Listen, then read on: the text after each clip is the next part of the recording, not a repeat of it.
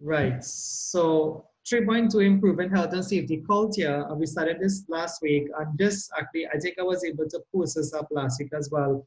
So not to repeat, I think the main thing to know from last week, if I could just find the definition, the main thing from last week to know is really that culture is made up of you, you know, you an employee in a company. So you come to the company with your ways then, if you want to like that, right? You know, the way we do things are wrong here, but you come to the company with your ways, your level of education, your attitude, your age, experience.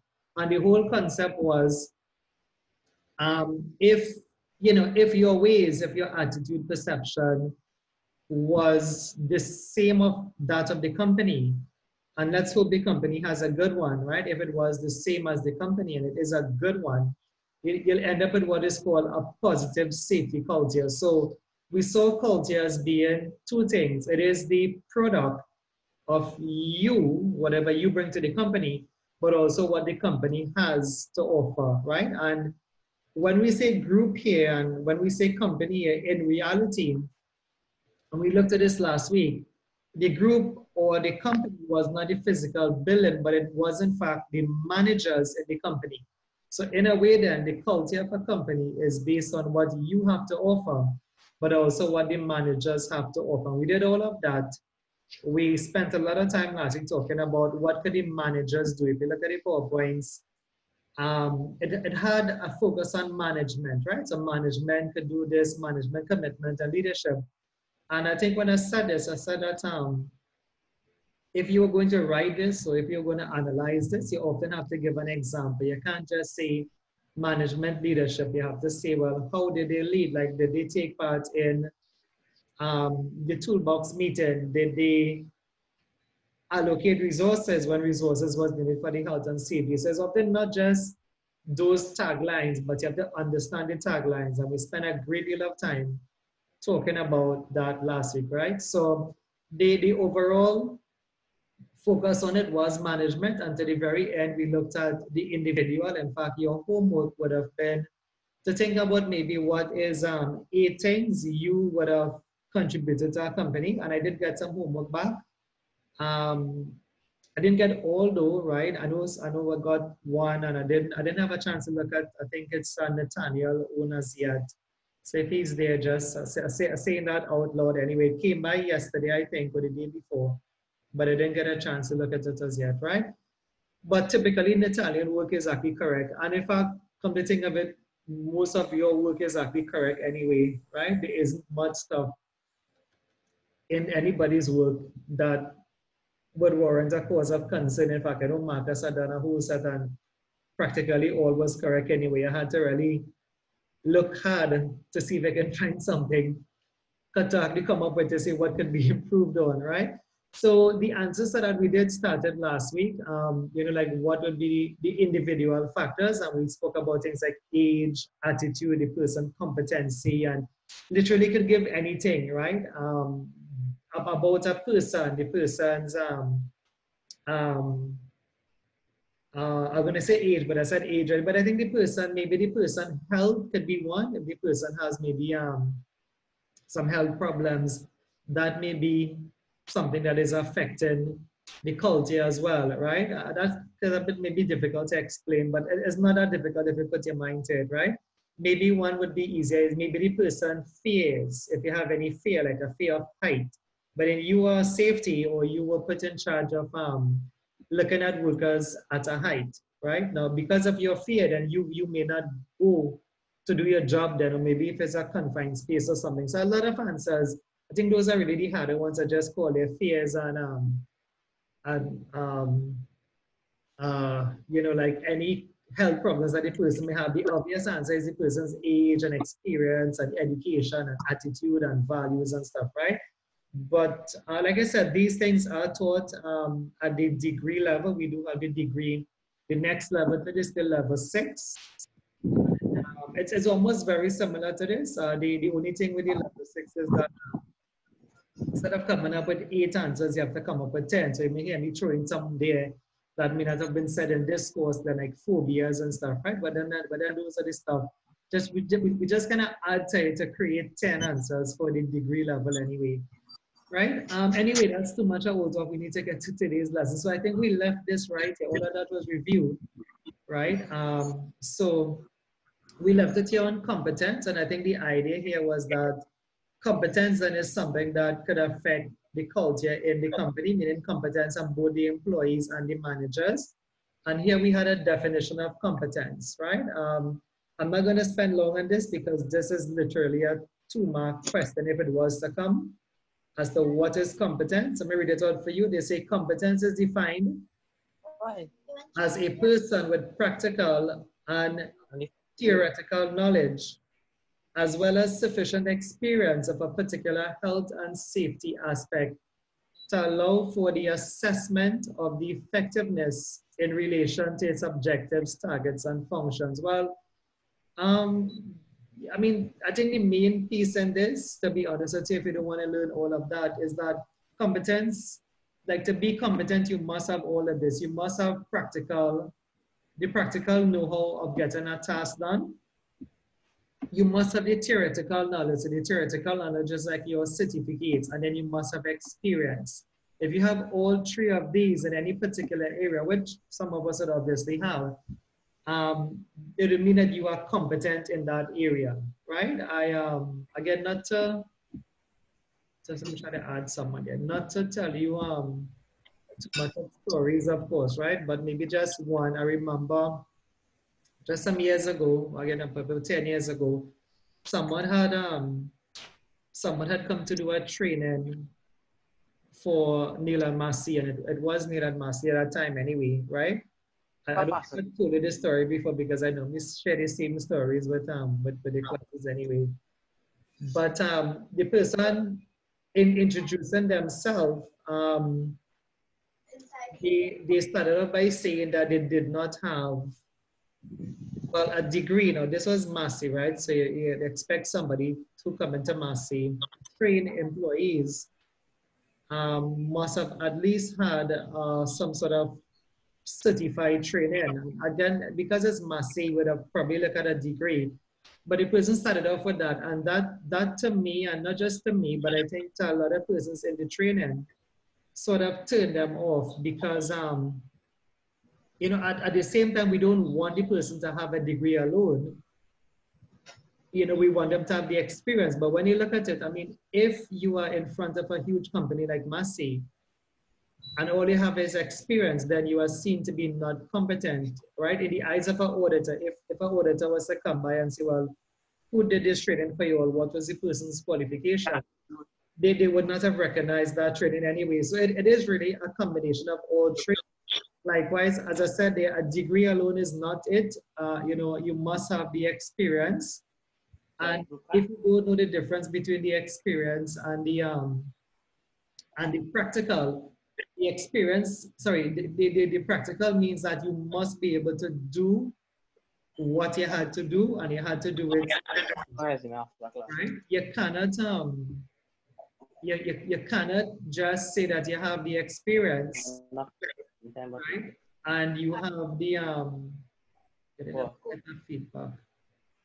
Right, yeah, that you have the experience and you have the, the, like, okay, like you have a certificate, but you don't know how to get it done right? The, the, practical means that you can actually turn off the valve then, right? The practical means that, that if you are a welder, you know, you have the welding certificate, you have, you know, 10 years experience, but you could weld, right? The practical means that when you weld, the weld will come out the way it's supposed to come out, right? So if not, if you have any, or if any one of these is missing, I guess as you pointed, out, is, if any one of these is missing, you are seen to be not competent, right? So it must be a person with the know-how, the certificate, and the experience, and then you are seen to be competent, right? Anyway, long story short, um, there's two marks for exam if they ask you to define it. Once you hit those points, you have to get it correct. And the other piece of it is that this is not a separate part of the lesson. This is still about the individuals in a company that can influence culture, what makes them competent, right? Or what makes the culture in the company good is that they are seen to be competent, right? If we could say it like that anyway, that This is all about what about the person, right? So the person is seen to be competent. Anyway, that was just one trailing slide from last week. Believe it or not, that we, we should have actually finished last week, but I guess time was out on us. That was actually a trailing slide. Um, trying to clear the screen there, right? From last week, right? So I guess really and truly on to today's work now, right? Um, the topic will change slightly, slightly because you'll see what I'm talking about. It still is culture anyway, right? But it changes slightly a bit here. So um, let, me, let me try to explain this for you a bit, right? Explain like why the topic changed. the topic didn't really change. What they're trying to say now, right, is that if there is that sort of, you know, like unbalance between the employee and the company, if there is some sort of you know, not getting along then between the employee and the company, what could be done to improve the culture? So this is where this lesson picks up. This lesson picks up here, or this subtopic then takes up that if the employee doesn't then fully believe that, you know, safety is my first priority or we're going to reduce accidents to zero, etc.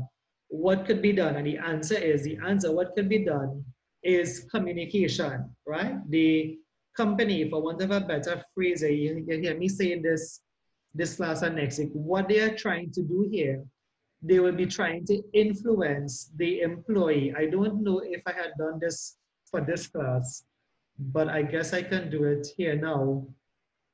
Um, I perhaps would have wanted a blank slide though, right? But um, I guess I could try to fit it here. Um, when we say, I think I did it last week, when we wrote out the formula, but I need a blank slide or probably need my screen, right? Um, when we said that culture is the product of the individual and the group, right? Um, you could probably find a blank one that has some space in it, right? Uh, instead of going to the whiteboard, right? I guess I have to go to the whiteboard. I'm not seeing any um, any space in these, right? But uh, I think I wrote this formula, so I'm gonna go to the whiteboard. Um, what, I think when I wrote this for you last week, I wrote, I wrote not a formula, right? Which was, um, which was culture is, is made up of or is equal to, right? The individual, right? Culture is made up of the individual and the group values. Now,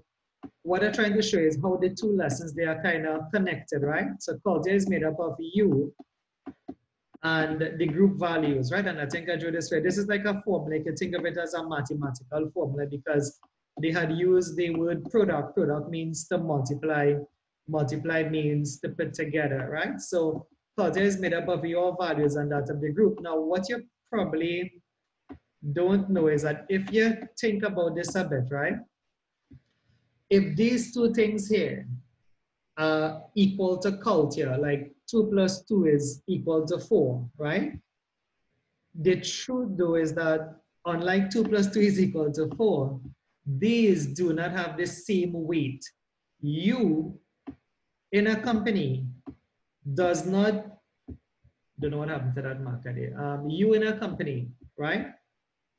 I don't know what arrow this is. I'm actually clicking the whiteboard. Um, Right, yeah. So Zoom does give some better of faces. So you, in a company, you do not contribute 50% to culture, right? And I'll draw maybe a building here, but the person is really managers, but I guess a building may give the idea of a group, right?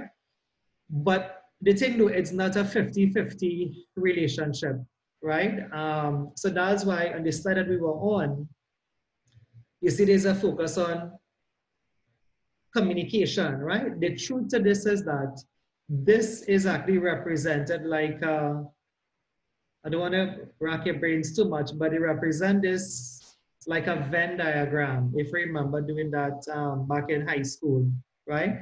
They represented like a Venn diagram. And when I say they, it's actually the HSE in the UK, the Health and Safety Executive, right? They represented like a Venn diagram, and one is a subset of the other one, meaning that one of these here have a bigger influence on culture. It is still equal to culture, right?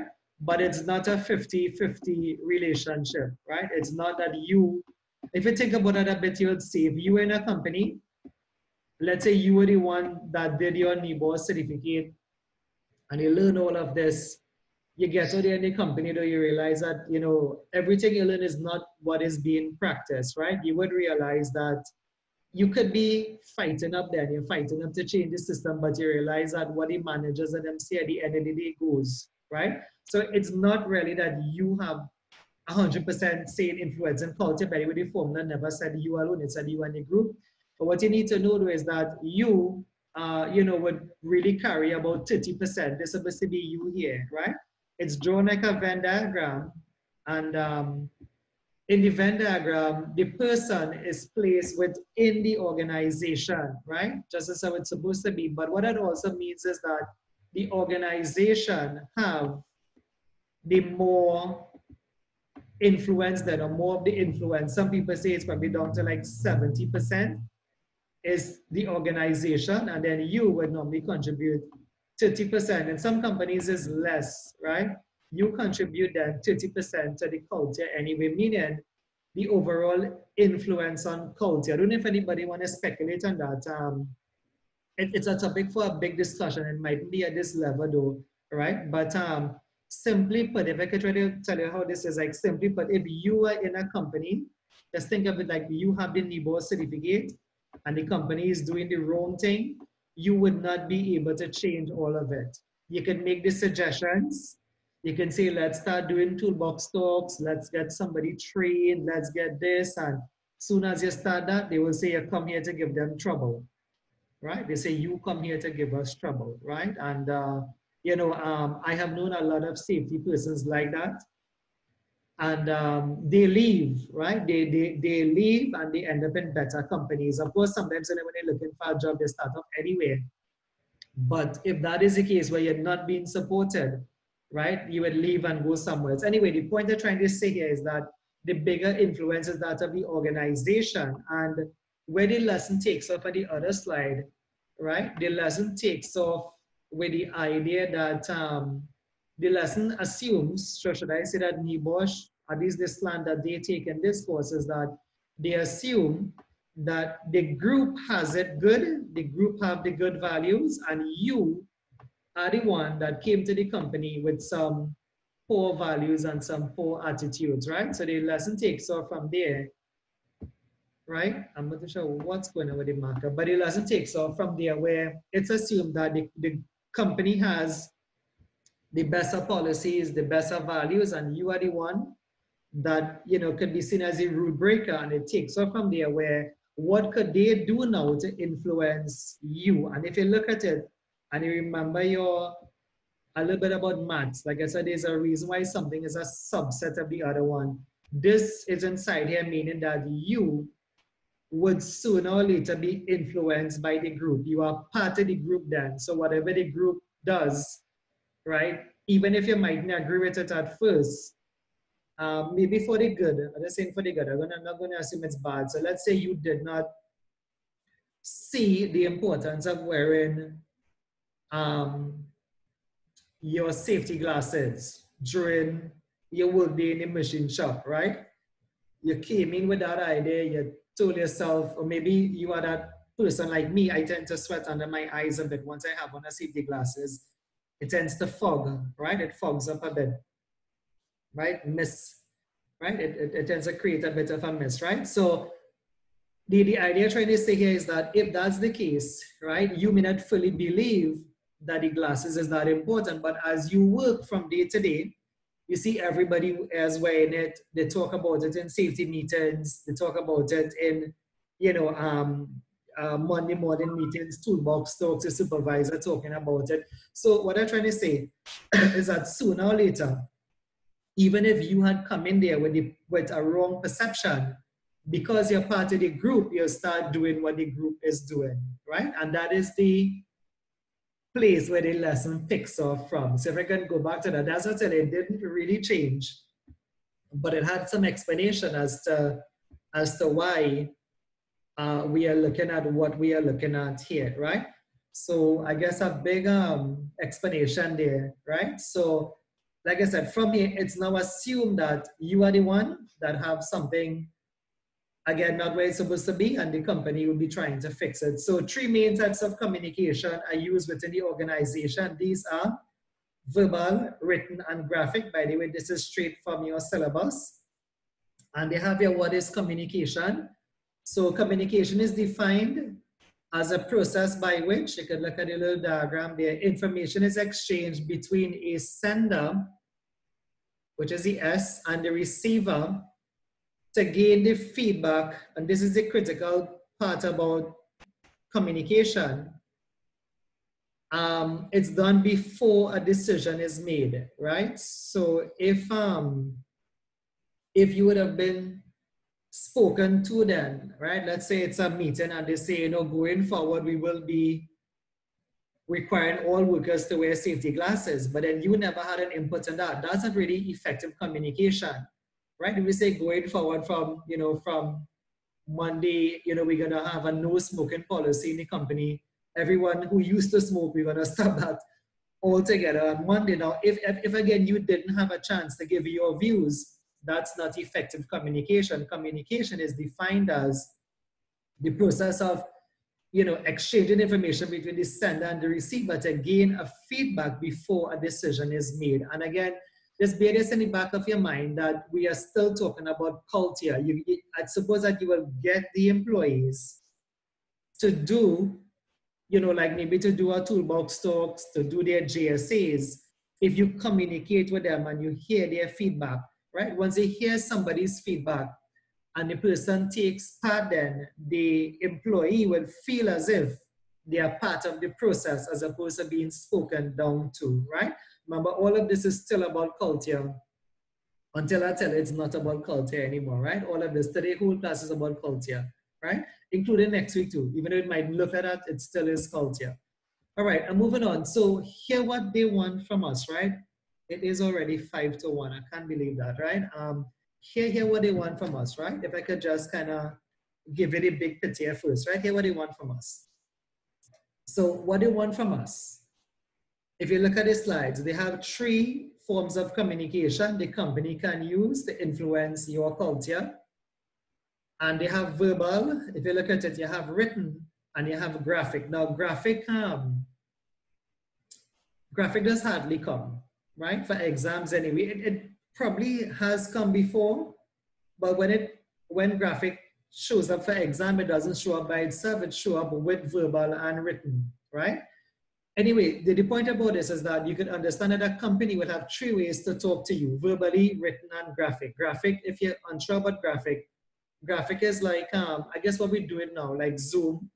But again, before Zoom, graphic would have been things like um, in the Monday morning meeting, they would show a video, maybe on somebody getting something stuck in their eye, and then you'd probably start to realize, okay, the safety glasses is really important, right? So graphic communication is part of it, but what they want, right? What is what they want from the three forms of communication? They want they want a lot of stuff in fact. So uh, this may take us some half, maybe hopefully we can finish it. But the first thing they want, right? They actually want what is the problem with it. The first thing they want is what is the problem? They call it barriers. If you look at this slide, right? Like what is the barriers then to verbal communication, right? They love this scenario like where they will tell you an employer, a supervisor, a CEO is, you know, like talking to employees, giving them instructions, but they don't get it. And then they ask you, well, what would have been the reasons why the employee didn't fully hear what was being said, right? So this is an easy question. This, in fact, if, if you did anything in communication studies back in school days or even social studies, this could be relevant, right? So, and if you didn't do social studies, you could just think of this as in the real workplace that, you know, like the um, the manager is talking, but not everybody will hear what he's saying. And yes, everybody listening, but everybody may walk out there with the idea, well, you know, when did he really say we want this by or I didn't quite hear what he was saying. So what NEBOSH love for this part of verbal communication, it's right here, they love the barriers, right? So I have them here, if I could read some. And the bottom here have, can you think of any others? So what are the barriers to verbal communication. And as I read this, like I said, pity what I'm telling you that they love the idea. For those of us who work in, you'll understand this very well, right? That every morning, uh, well, Monday morning in a company, you have what is called the safety meeting, right?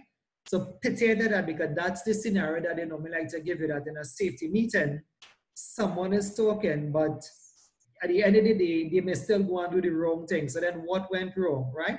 So I have here, I'll give you a start here, barriers of verbal communication. Um, you may need to know up to eight. Uh, this is an eight mark question, right? So if we don't have eight here, um, and I wouldn't want to take the marker and write in the rest because it will take my time. If, if y'all could say it and somebody could write it down, fine, right? But um, I have some here. So what are some of the barriers of verbal communication? You have here um, language and dialect, right? And of course, you know, we do have um, different languages in Trinidad and Tobago. You have the Chinese, um, you have, I guess, Spanish, right? You have uh, Mexican, sort of Spanish anyway, right? Um, so language and dialect is one. And by the way, too, not too sure if you know this, but um, you also have the Trinidad language, right? You also have our own language, right? That um, if you have ever dealt with any um, uh, expats then, right, from other countries, they have little difficult time understanding what we are saying, right? Simple words that we say, they wouldn't understand, and certain things that they say we cannot understand, right? Um, so I'm gonna give you two, like two, two simple ones. One, we say in Trinidad a lot is toot, toot, right? The man was tooting a piece of pipe or tooting a box. And I've, I've been in places where these people, you know, at the end of all of that, they don't know what you mean by toot, right? Toot is like a Trinidad um, version of a word anyway, right? So you also have that. You also have some very close misconceptions like truck. Truck, a simple word as truck, right? Truck, like um, like we say, you know, that they, they, like the worker was driving a van and he got into an accident, right? And these people would, would not know what you're talking about because there is no vans in the company, right? What you have is trucks, what we call vans in Trinidad around the world, it, it is really a truck, right? Like the Hilux, Navaras, whatever have you. Say the company person made an accident with the van and they're looking for the van, which part the van is, right? But it's really a truck, right? So use of technical language, I guess that is self-explanatory. If you use, um, you know, again, even I guess Trinidad technical language, right? But uh, but typically here is it's really it's really technical language, like um, like the name we use for certain forms, like RAs, risk assessment, of course, right? Um, PTWs, permit to work, and the one I mentioned before, JSAs. Uh, the company may know all of that, but what if, what if there's a new employee there, right? Um, you also have, for those of us who work, you have various companies add some twists to risk assessment. There's actually one I know that um, BP Shell and Atlantic, and they, they have created this something called a TBRA. T as in task, B as in base, risk assessment, TBRA. But they talk as, as if everybody know what they're talking about. You, you hear them talk about TBRA, TBRA, and you know, sometimes if you're not familiar with that sort of setting, you don't know what they're saying. A TBRA, for want of a better explanation, is really a JSA. It is really the same thing, but they created their own slang type, right? Abbreviations, background noise. I'm trying to check on my fingers how much that is. So that's one, two, three. Again, this could be four. Technical language abbreviation, background noise, distractions, hearing problems. So that's six, right? Anybody could come in with maybe two more barriers to communication, or you can just think of it as, which is the same thing. I'm using the proper word in this slide, which is barriers but um, like, why would a worker not hear the verbal instruction given to him in a meeting? It's the same thing anyway, it's the same concept. Like, what is two more reasons why they would not be able to hear? We have hearing problems there already, and we already have distractions and background noise and stuff. If, if you're working, you probably know the answer for one of them. Just think about the meeting that you went to last Monday. Repetitive. Okay, so repetitive. Okay, so I'll kind of add to that. So what will make them not hear it with the idea of repetitive is that they probably fed up hearing the same thing, meaning that they're bored, right? So even if, you know, as we say in Trinidad, to talk about abbreviations and dialect, you know, it, it, it comes in one ear and goes through the other ear because they are bored and they have heard you said this so much of times without any action taking place, they will just tune you out, right? So you can probably put there the person is bored. Uh, any more again? If you if you have been in a meeting, you'll know. I think cell phone. Say it again. Cell phones. Distractions. Okay, well, we have distractions here. So yes, Natanya, but I think cell phones will fall under distractions, right? I think um, maybe to end it here, one of the answers is the person could be fatigued and tired. As I, as I said, if you're working, you'll likely know that, right? That the person could be fatigued. The person may have worked a 12 hour shift. Um, God forbid wasn't relieved and working another 12 hour shift. And before they go home, which is, it is how it is on most processed plants anyway, right? Um, Nutrien, which was PCS nitrogen, where Proman is there now. That's a common thing anyway. Um, shift, you know, shift work anyway. And then just before you go, you have to do a handover. So you may be in this meeting, but you would have had, you know, a very long time on your feet or at least a very long time waking anyway. So yes, you're there, but you're fatigued, you're tired, you're stressed. So if you want to add that there, that is a very good one make the eight. Now, there may be other answers. Um, I think if you have your books, your books would have done this excellent. There's a define these things in the table of contents. Um, verbal written graphic is on your syllabus, so it will be in the table of contents. If you find them, they normally have them listed out.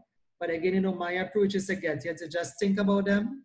If the person here, the same repetitive things, fine. If the person is on their phone, fine. That's a means of distraction right? All of those are perfect answers. Um, you know, so at least when you come up with them, you have heard me say this in every video. When you come up with them, you do have to go to the book and cram it. Especially when you open the book and you see the same thing, you see the same, you know, boredom and whatever have you, right? Anyway, I'll leave this one because I have we have to do three, right? So the other one, anyway, getting the idea that there's a kind of tighten again that if the person's perception was poor, what could have been done to change the culture? We said you could have meetings, and this could have been via verbal communication. I have all the meetings listed on this slide. For those of us who just listening, I'll read it for you. Um, this can often take the form of, and this is the verbal I'm talking about, this can often take the form of a toolbox meeting or team briefing, safety circles, discussion groups. The point about this is that you're talking to the person. It's all verbal communication, right? There is a paper here, but I don't want to stop. If you all want to have a look at that, fine, right? I, I don't want to stop until I finish off graphic, right? Um, so I'm moving on, right? So the other form of communication, remember I said it's three, it's verbal, written, and graphic.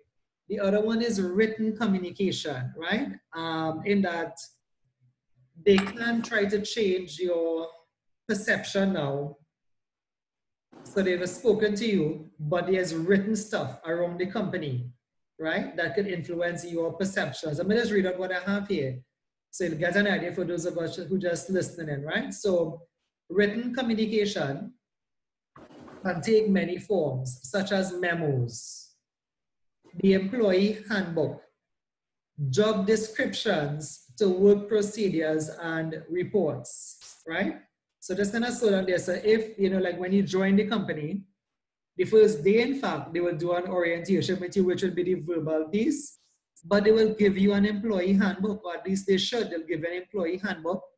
They will most likely give you your, your job description. So you see who you're reporting to. And in your first week of any work, they normally give you the procedures to run through. Well, this, this is the book of procedures. Familiarize yourself with the ones that pertain to you, right? So it's written instructions, and I also have their memos as well. Could be, you know, a means of of giving you written communication, right? Now, I, again, I know Natalia and I see like a driving, so I want to kind of shout out these to you anyway, right? On this syllabus though, right? On this I'm not driving. Okay, not driving. Okay, all right. At least by in a vehicle, right? Okay. So um yeah, so on this syllabus though, let's admit right? Yeah, on the syllabus, in addition to the written communication that I just said, they have specified the notice board on your syllabus, right? They specify the, the notice board as a means where you can find written communication, right? So the second point I have here says most common is the notice board. These be well positioned, reviewed, and updated regularly to maintain its effectiveness. And to the bottom of this, I have a passive question from before that asks they wanted to know what is eight items well, of written communication that could be placed on a safety notice board. This was a very famous FAFSA question, right? So if written communication is a means of changing your perception, what could be eight actual paper then or paperwork that they could stick onto the notice board that could help you, you know, understand the values of the companies and stuff. So I don't know if anybody want to give me an answer for this. I believe the answers are here. Just I didn't want to show it, right? But um, anybody could just pull this some memory. Like, what would you, what you know, like if you join a company, what would you find in the notice board that could probably help you, you know, know something about that company safety culture? We kind of did it. I'll give you a clue. We did it two weeks ago. A, a policy statement. Very good, right? So one of the first things you'll find you'll find, I think I mentioned here, flow and, well, the non-industry is not, for those of us who are not working, so that at least you'll have an idea of how common that was. So flow and the next time you go to flow or TN Tech, if you're not going because of the virus anyway. But if you if you remember going, right, uh, every one of those companies, those big utility companies, WASA, they have the policy um, statement uh, normally blown up and they have if they have it, they have it on the wall, right? So likewise, though, for the companies, for the industrial companies, though, we normally have that on the notice board. You'll have something like we at Demas Oil, we are committed to ensuring your health, safety, and welfare, providing, you know, um, a safe working place for you, welfare facilities. So yes, the health and safety policy statement is one such document you'll find on the notice board. Anybody can give me one more, and I think I have them listed here. If not, I'll have to show them for you. Um, yes, I have them listed here, right? So let me just take them from here anyway, right? So um, the first point I have here is something called the health and safety poster. Now, we do not have this in Trinidad, but this is a law in England, right? they have a mandatory poster that they have to put up, right? If you have the green book, I know it's in the green book, but if you wanted to see it, all you could probably do is just put out into Google the health and safety law poster. That is a law in England that they have to put up that um, throughout the company. Well, not throughout, but in the notice board of the company for the employees. I suppose for us in Trinidad, you could probably think of that, but please remember, this is not law in Trinidad. You could probably think of that as um, maybe sorry maybe the duty of the employees under the OSH Act, right? I know OSHA has put out um, pamphlets, so I can probably use the word pamphlets. They are posters. Um, so that's what that is like. Like they are actually required to put up like the rights of the employees on the notice board, the right to refuse unsafe work, right? The right to cooperate with the employer, etc. So that's like what that is there. But um, think of that as how it is in Trinidad, that you know we would have um, OSHA brochures, and that is like what that is there. But it's really a, a post that they have in the UK, and the employers are required to put it up. Some stuff you find in the notice board again, um, details of the first aid arrangement. Again, if you're working, you'll know this one on the HSE notice board, know, we find who is your first aider right? If it's a big company and they would have broken you all off into groups or departments, you'll have who's the first aider for your department, right? So the first aider. Um, third point here, details about the HSE targets and actual performance against them. Now, I can read it again, but I'll tell you what it is. Details about the HSE targets and actual performance against them. Now, we do have that in Trinidad, but they call it something else. They call it KPIs, key performance indicator, right? This is a lesson coming up, I guess, way I guess any months ahead. But if you don't know what a KPI is, a KPI is um, is like a spreadsheet from January to December, and it'll have in it the number of accidents you have, hopefully zero the number of property damage. That does never be zero, by the way, right? The number of injuries, number of fatalities, hopefully again that is zero. But that's what that is, right? And um, that is going to be published on the notice board, right? Why it's published is because it changes from month to month as the figures are tallied from one month to the other month, right? So if you have um, any doubts, I guess you could remember this as KPI for now. You'll get it correct because you see it's performance, right? KPI is performance standards anyway, until we do that lesson anyway. But think of it as um, it's a spreadsheet, 12, 12 months. And uh, you're recording it, what happens for the month anyway, in terms of accidents and incidents. I have health and safety poster here, so this is a repeat of the first point. This could have been my error here. Uh, uh it could have been just a normal poster. I think that's what I wanted to say, that the one on top was the low poster, but this one here could have been just your poster. Somebody could have made up a poster about the importance of safety glasses or you know, um, taken some pictures and, you know, created a poster, maybe download one, but it's not a legal poster then. So this is something that you add in there. Um, that could go on the notice board. Minutes of the last safety committee meetings could be, um, it's normally about two pages anyway, so that could be photocopied and stuck to the notice board. So the employee could have known what would have been said in the committee meetings. Again, if this is a bit confusing to you. The committee meetings here is a safety committee meetings, and that is held once a month, right? So if, um, and the committee, by the way, is not all employees. A committee could be five persons, six persons, very big, very big companies, you know, 200 and more workers and stuff. The committee may still be about 15. But if you are not part of the committee, but you want to see what they talk about, seeing it as a safety committee, you can look for the minutes of the last safety committee, right? Um, this is an easy one, emergency evacuation. Uh, like the, okay, like the map, the, the evacuation map is not being found on the notice board.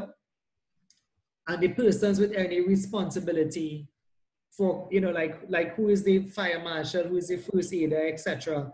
Those persons will be on the, um, on the evacuation map itself. The last one, I don't know if um, we really do this in Trinidad, but you need a copy of the employer's liability insurance certificate. And this, when we did this in chapter one or lesson one, we had said that this is like the workman compensation that is required in Trinidad and Tobago here. All employers must be paid what is called workman compensation and public liability insurance, right? So um, that is, again, if you remember that lesson, that is like um, comforting to know that if something happens to an employee and they take the employer to court, that they will be getting money from the insurance. And I'm saying this and I know that I have not really seen this in a lot of companies, right? But I know they have it, a lot of companies have it, the employer's liability insurance certificate, um, you know, saying that, that the employees are insured then while they are on the company's premises, right? Anyway, the UK may be a bit different. They are saying that a copy of that must be on the notice board. So let me see if we had gotten the eight here. So the health and safety poster, aid arrangements, KPIs, another poster which could be company made or could be downloaded, minutes of the meeting, emergency um, evacuation map and the person, Yes, I have it here, right? Employer's liability insurance. I still have here any others that you all could think about. Um, I guess if you look at the book, you may be able to come up with it. Um, I could probably end this little piece by saying, because it's already now 17 minutes past, right? It's about 20 minutes past. I could probably end this piece by saying that um, if, if you were to give this question a try, right? I'm saying if, right? Because you don't have to. Um, the, the key to it was not putting anything there that is not safety related. You notice in some companies, items may end up on the notice board and that's not safety related. Like they may have a hike, right? They have a, a hike up in Maracas coming up, right? But they put out on the notice board, but it's not safety related. It's more like hobby those who want to take part in that any weekend or whatever have you, right? So this is the key it that you could you could put a lot of answers on the notice board, but it must be safety information, right? If you put anything here, if you look at all these answers here, they are all health and safety, health and safety, health and safety, right? Um, I think, I suppose maybe uh, health consideration is one.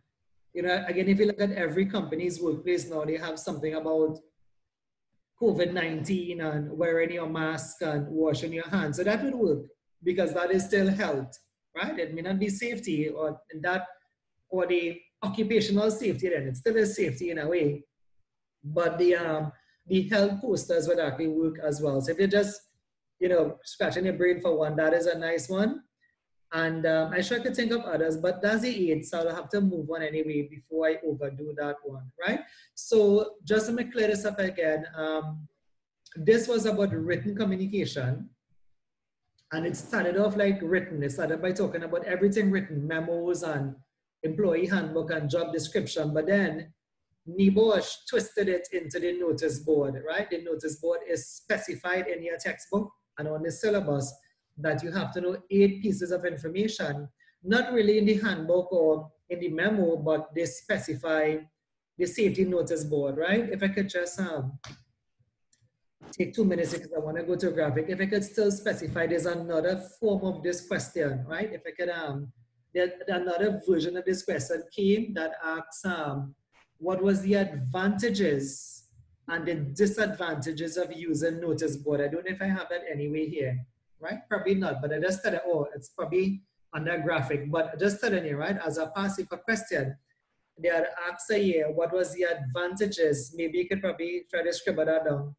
And the disadvantages of using notice boards. And think about it, was eight marks. You need four advantages and four disadvantages. I don't want to overdo it. Oh, has gone so fast, right? Um, you know, just to let you know, like an advantage is, um, I suppose it is cheap. You know, it's cheap to set up a notice board. Uh, just that I probably buy it for the first time anyway. Um, so it could be, I mean, I wouldn't say the word cheap for example. I say the word cheap because of, of Trinidad um, dialect anyway, but you have to say it's, it's, it's inexpensive and um, you can probably say things like, you know, it could be placed. I mean, like given the fact that you have a chance to use a poster, um, you know, it means that um, you could create it with colors and graphics and whatever have you. So it could be eye-catching then. It could create it to be attractive. You know, um, you could use pictures, and if you have a picture of maybe someone with um, something I mean, God forbid, I just saying it's a pity, like something stuck in them or something stuck in their eye or something. And next day you have, please wear your safety glasses. I mean, people will get the idea that, hey, safety glasses is important, right? So those are two advantages, but the disadvantages, I wish I had time to take, maybe next week I could continue with it, right? But um, the disadvantage would be things like a poster or a notice board then if you think of it in reality, like the one in flow, I often remember the one in flow because the one in flow, um, well, where they have the safety, the safety statement that it's always been blocked with the latest movie, right? The latest movie now they have like a, a, a blown up full size picture of maybe the latest uh, James Bond movie or something. So the safety policy is there on the wall, but nobody can see because it's being blocked with the latest item. So I guess you could think of the same thing for the company that they may have a notice board, but then you may have deliveries. Um, a company may have, well, your supplier may have come on unpacked boxes of supplies. So the notice board is there and you did pin up on it. We have a meeting. Just making this up. So they have a meeting maybe um, the morning and they put it on the notice board, right? They expected everybody to see it. But Friday, uh, a delivery truck came by, offloaded everything, and it, it blocked the notice board, right? So notice boards have that disadvantage in that they can be easily blocked. And I'll give you one more. I, I, really trying to talk as fast as I could, but still sound audible, right? Another one is um, the notice board could be defaced, right? Like what you put on it, someone could have come and, um, you know, tear it down right? Um, I don't know if you all have ever done this, but I've seen it done. You know, like you know, like we have this certain advantages that you can put up. You actually put like the person who is responsible for first aid. But imagine you take a really nice picture and you put it up there, and someone comes and they draw on it, they draw a mustache, they draw two horns, darken your teeth, etc. Right? So a disadvantage is that as much as I know that used to happen a lot in Petrotrin, and I can't say the kind of thing they used to put any posters on this Zoom class here in Petrotrin, right? When it was Petrotrin anyway, right? But um, that was a common thing you'll find like in um, Santa Flora, etc., where once you would put up a picture, you'll find that picture during the course of that week will be defaced anyway by the not so happy employees, right? So I want to move on. Um, it's about five minutes there. So if you could have thought about that one, um, if you want to do a question, you could, you could do the same one on this slide, but this one is done already. The most you can do with this, if you were doing this one on this slide, is do it over in a full sentence. But if you wanted to do one, um, the advantages and the disadvantages of using a notice board, right? As I, I kind of give it two answers in each day, I just need two more in each, and you should be able to come up with it. All right, um, so I'll skip this one. This is about written communication. Again, we kind of covered all of that. Um, but I could read one of it. It said, need to consider person who have poor English reading skills, other limitations, the class to discuss. We don't have time to discuss all of it, right? I would have said most of it anyway. So the last one, graphic communication. To be able to finish, I would just have to read, right? Now, this is the easiest one, right? In case you missed what I said in the beginning, graphic is by means of the projector, you know, um, sessions like these, Skype, Zoom, graphic is all about that, right? So this is communication by means of drawings, photographs, videos, films, the company's internet, and devices that utilize some means of electronic or digital medium. The advantage is that they can be used to attract and retain the attention of the participant. The reason but the why that's an advantage is because it's a video. A video may have been created with sound and sound effects and stuff, right? Um, it can also be updated readily to ensure that the information disseminated is relevant and simple. Disadvantages, if you all see in this slide, um, if not, you can just read it out, is that there may be too much reliance on electronic media as opposed to face-to-face -face communication may result in the loss of a personal touch right? So, by the way, this is written before COVID 19, right? You know, um, I think having used Zoom, just to be honest with you, I don't think, I don't think that happens on Zoom, right? I think on Zoom, it's just like seeing you all in class, you all take part. Whenever I say take part, you all are taking part, right? Um, the only thing good about it is that, you know, we are home, everybody is home, and that is, you know, convenient right? Uh, but I think then this wasn't, I mean, I, I don't even know if Zoom was a catchphrase when I wrote this. Zoom may not have been invented yet, right? Um, when I wrote this PowerPoint, right? But uh, I think this could have been more meant for things like using videos, right? Um, uh, or maybe using just like sending those uh, like a video session then. But Zoom is interactive. It's designed to be interactive. So I don't think that is an issue with with, with Zoom, right? Of course, again, the second one is easy. A big disadvantage of graphic communication is that if power was to go, well then what does it for us today?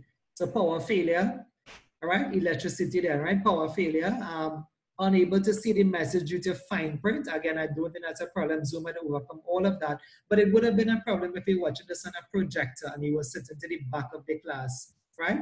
Poor positioning of electronic mediums, such as a projector leading to a disability glare, right?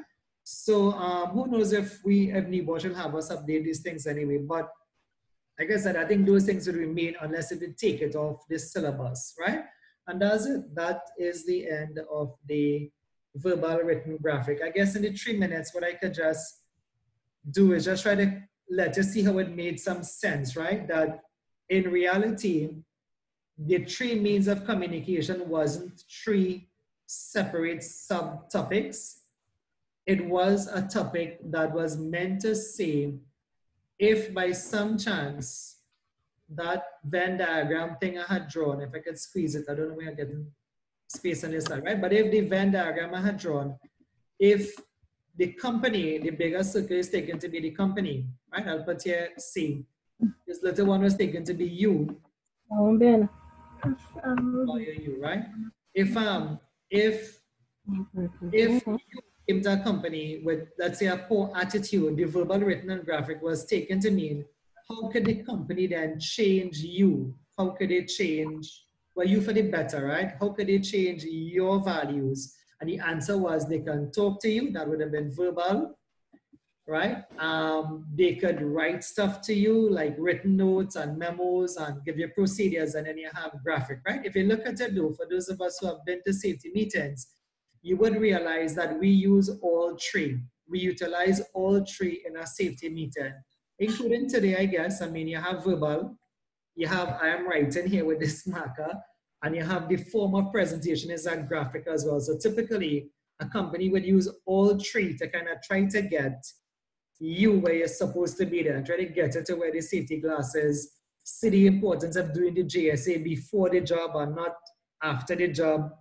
A lot of companies do that, right? They um, JSAs is meant to be done first, but they do it after they come back from a job on lunchtime, which is what defeats the purpose of getting the hazards of the task, right?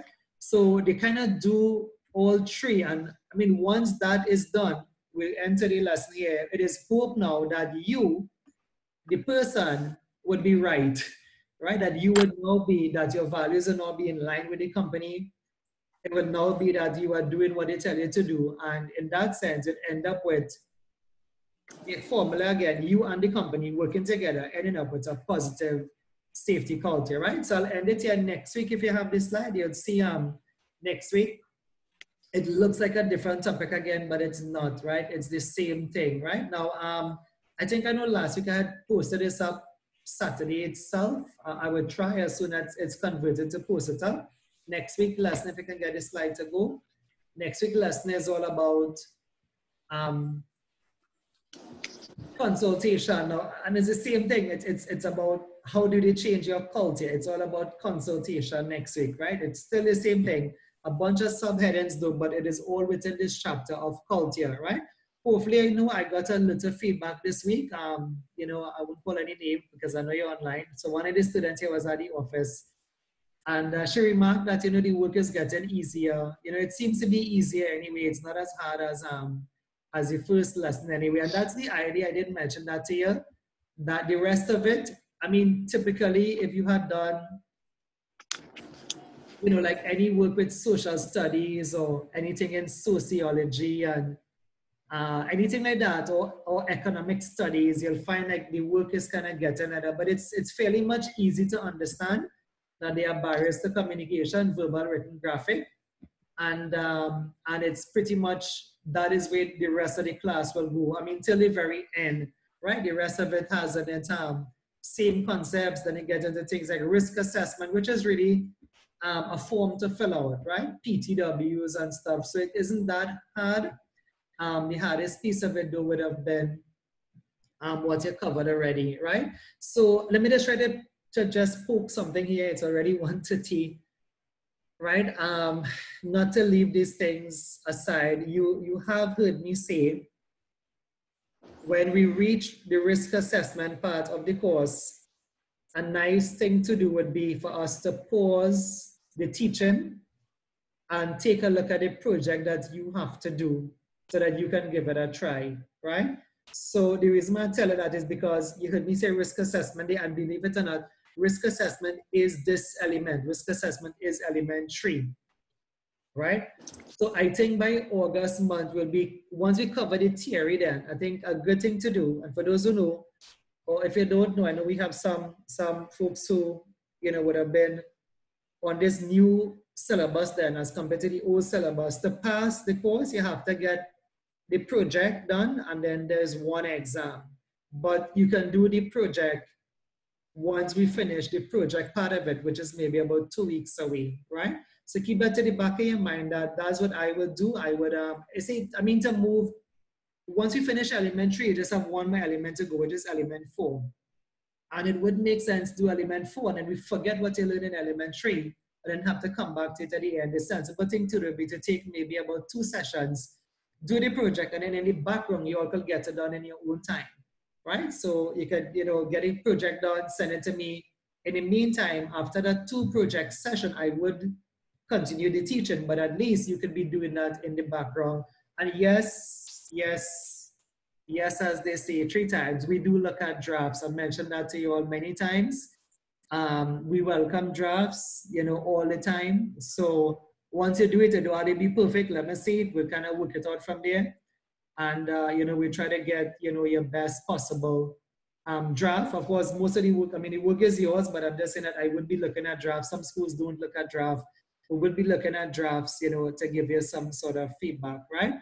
So that's how this is going, um, at least for August month. I mean, today's the 18th, so just to let you know, like maybe where this will be going. You should be finished somewhere around September. And then I think by that time, we'll have a better idea of when could be the next possible exam. Please note, if you haven't heard me say this before, it's probably because I actually say it in the other classes and I would have forgotten to say it to you all.